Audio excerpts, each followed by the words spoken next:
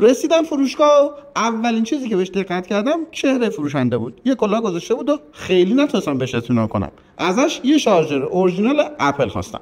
ولی سریع بهش گفتم که آقا من با سریال جعبه رو با سریال جعبه مادر یا جعبه اصلی خودم چک کنم و مقایسه کنم. اونم جعبه رو آورد بنده خدا چک کردم و یکی بود. اما دلم آروم نگرفت. واسه همین ترازو مدر آوردم و خودکار یووی مدر آوردم می‌دونستم که وزنش دقیقا باید 118 گرم باشه و با خودکار یووی اگه روش بگیرم یه سری رنگای مشخصی دیده میشه. اینا رو چک کردم ولی بازم مطمئن نشدم. ازش خواستم که یه لحظه صبر کنه. رفتم و با یه شارژر کپی برگشتم. برای اینکه بتونم ویژگی ظاهری رو مقایسه کنم یه کپی یه اصلی باید تو دستم می بود و کنار هم دیگه بررسیشو می‌کردم. این تلق بالا رو شنیده بودم باید صفر باشه. این یکی صفتر بود این یکی یکم شلتر بود ولی خیلی هم فرق نداشت انگار. یکم شک کردم. گفتم بهتر برم سراغ چاپ. جزئیات چاپ رو نگاه کردم. بازم خیلی شبیه هم دیگه بود. اینو دقت کردم. بعد اون یکی رو دقت کردم. نمی‌تونستم بفهمم. یهو یادم افتاد که اینجا که این فلش سبز است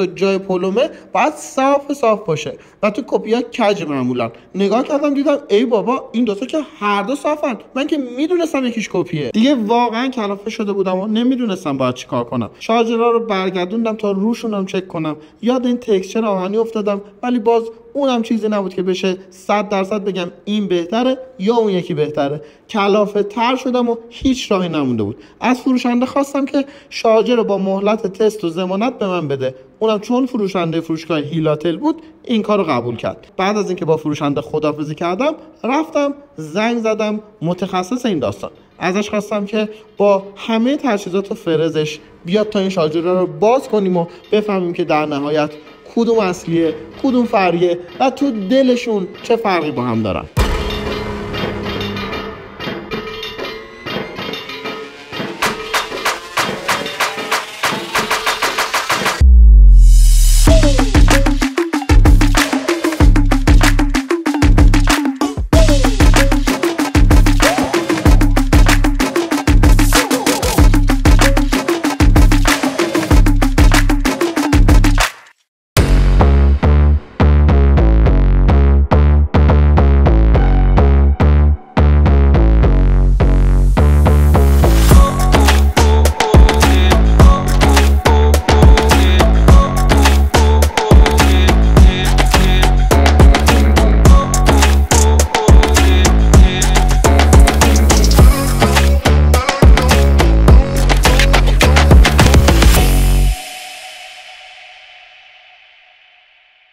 خب ما چهار تا دستگاه باز کردیم.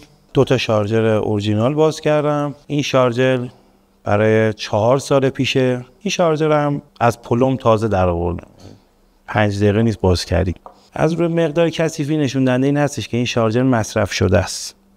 کار کرده. و از روی متریال هم شما می‌بینید هیچ فرقی با هم نمی‌کنه. یعنی دستگاهی که چهار سال پیش حالا شخصی خریداری کرده استفاده کرده و دستگاهی که الان داره می‌خره هیچ فرقی با هم نمی‌کنن از نظر متریال قطعات حتی رنگ بوبین سیم بندی ها و همه چی با هم یکیه. هیچ فرق نمی‌کنه. حتی متریال خود قاب هم با هم یکی هن. هیچ فرقی با هم نمی‌کنن موقع باز کردن جفتشون به یه نواق بودن. شارژر های کپی. شارژر های کپی با شارژر اورجینال خیلی فرق می‌کنه. روی شارژر اورجینال یه چیپست داریم که این چیپست می‌تونه مقدار خروجی مقدار جریان و آمپری که دستگاه شما می‌کشه رو بسنجه. بر مبنای اون مقداری که داره مصرف می‌کنه گوشی خود این شارژر با دستگاهتون تطابق پیدا می‌کنه. اما شارژر های کپی نداره. یه برد خیلی ساده. برای اینکه وزن شارژر با وزن شارژر اورجینال یکی در بیاد یه قطعه اینجا گذاشتن یه تیکه سربه. که این سرب داخل شارژر گذاشتن. یه شیلدی هم روش کشیدن که باعث نشه اتصالی بکنه یه تیکه آهنه.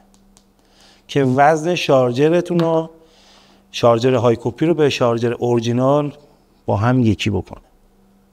برابر رو بشن که شما وقتی موقع خرید می‌ذارن حالا یه سری رو ترازو می‌ذارن یه سری میگن نظر وزنی با هم یکی نه.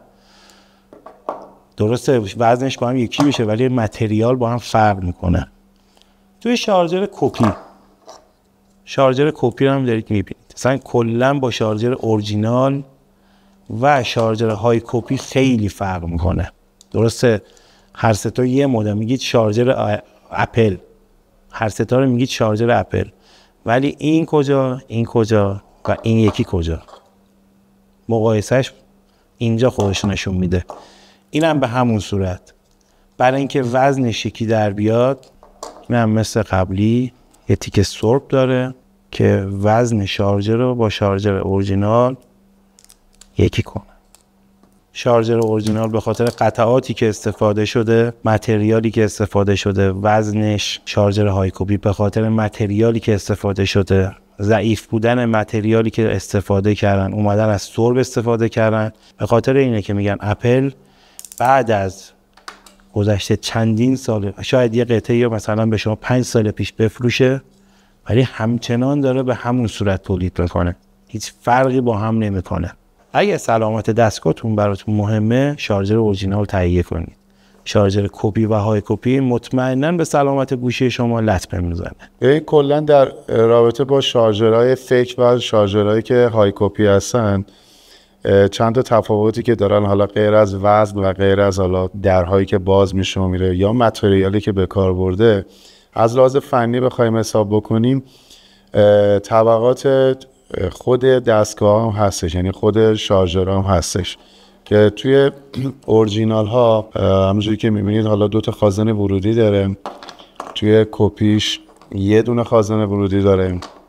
حالا توی high copy اومدن دو تا خازن گذاشتن. و تو طبقات PW و خروجی هایی که داره ولتاژ رو داره می‌سازه که بخواد به گجت شما بده توی اینجا میان تثبیت می‌کنن ولتاژ و ولتاژ حالا اگر رویش نوشته یک ممیز 67 همون یک ممیز 67 رو با هر نوسان ورودی برق به شما میده. ولی توی high copy و توی کپی این اتفاق نمیفته یعنی امکان داره که نوسانات ولتاژی و جریانی شما یه تلرانسی داشته باشه که همین تلرانس باعث میشه که حالا می‌زنه حالا اون اپل شما رو یا هر گجدی که بهش وصل می‌کنید رو بسوزونه.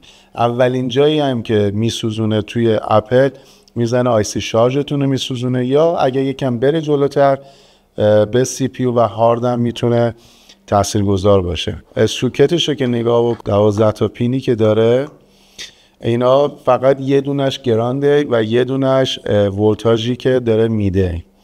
بقیهش دیتایی هستش که از خود شارژر به گجت شما یا همون گوشی اپل شما میاد که میاد شروع می‌کنه. یعنی اگه درصد شما از صفر درصد تا صد درصد رو بخواد شارژ بکنه میاد در واقع منیج می‌کنه که چجوری شارژ بکنه. و توی هر درصدی یه ولتاژ و یه جریانی رو برای ساختار باتری میفرسته. این هم نیستش که حالا من بگم یه ولتاژ یه جریانی که حالا شما فکر بکنی که مثلا توی پایین 5 ولت میفرسته توی بالا مثلا 3 ولت میفرسته. نه. منیج خود جریانی رو دارم میگم که برای باتری میفرسته. که توی های کپی و توی کپی متاسفانه این نیستش و اومدن از علمان هایی که برای حالا تثبیت ولتاژ توی اورجینال استفاده کردن اومدن سرب گذاشتن که وزنش یکی باشه. یه تفاوت دیگه هم می‌تونیم داشته باشیم. البته اینا چیزایی هستن که خب شما نمی‌تونید ببینید. ولی خب یه تفاوت دیگه ای که هستش اینه که این دربی که حالا باز میشه برای های کپی به صورت شلاقی ببینید باز میشه. ولی توی های کپی ها یعنی اینجا وای میشه یعنی به صورت شلاقی باز و بسته نمیشه. ولی توی اورجینال اگه دقت بکنید این فرقیه که فقط توی حالا فنرها و توی اون متریالی که استفاده شده داره. اتصالاتی که اتصالات بین پایه و مادربرد هست همونجوری که می‌بینید می‌بینید اینجا اومدن حالا به صورت خیلی نامناسب لاین کردن که خود اینا افت جریان داره. و خودش می‌تونه یک مقداری از اون جریانی که بخواد حالا گوشه شما بکشه توی اینا هدر میره. این همه ویدیو گرفتیم و انواع راههایی که شنیده بودیم برای که بتونیم شارژر اصلی رو از فرعی تشخیص بدیم و تست کرد. اما همونطوری که دیدید هیچ کدوم صد درصد نیست و هر کدوم ممکنه که یه درصد خطایی داشته باشه در نهایت شارژر کپی رو به جای اصلی تشخیص بده. و اگه این اتفاق بیفته اون شارژر کپی می‌تونه با اون برد مزخرفی که داخلشه کلی به گوشی و سلامتی باتری آسیب بزنه. بهترین راه اینه که از یه جای معتبر بخرید که با یک کم تحقیق کردن مطمئنم می‌تونید اونجا رو پیدا کنید.